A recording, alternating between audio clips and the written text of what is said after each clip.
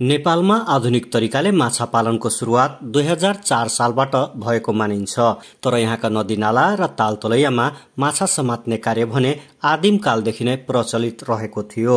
दुई हजार सात सालभन्दा पहिला तत्कालीन राजा रणबहादुर शाहको शासनकालमा बालाजुमा बाइस धाराको निर्माण गर्नुका साथै माथिल्लो भागमा एउटा पोखरी निर्माण गरी सहर कत्ले जस्ता स्थानीय माछाको पालन शुरू गरिएको थियो।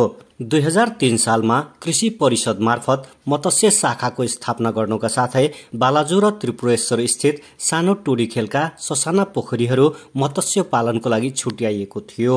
मत्स्य विकास कार्यलाई गति दिने उद्देश्यले दुई हजार चार सालमा भारतको मोतिहारीबाट इन्डियन मेजर कार्प जातका पाँच सय जिउँदो माछाका भुराहरू आयात गरी काठमाडौँको सानो टोडी खेलको पोखरीमा आधुनिक मत्स्य पालनको शुरूआत गरिएको थियो।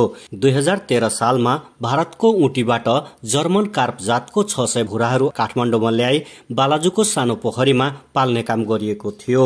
यस्तै आर्थिक वर्ष दुई हजार सोह्र र सत्र सालमा इजरायली जातको कमन कार्प इजरायलबाट मत्स्य विकास केन्द्र गोदावरी र परवानीपुरमा ल्याई अध्ययन गर्दा दुवै कार्प जातको राम्रो वृद्धि तथा सफल प्रजनन भएको थियो। जलीय जीवहरूको संरक्षण गर्ने उद्देश्यका साथ दुई हजार सत्र सालमा जलचर संरक्षण ऐन तर्जुमा गरिएको थियो।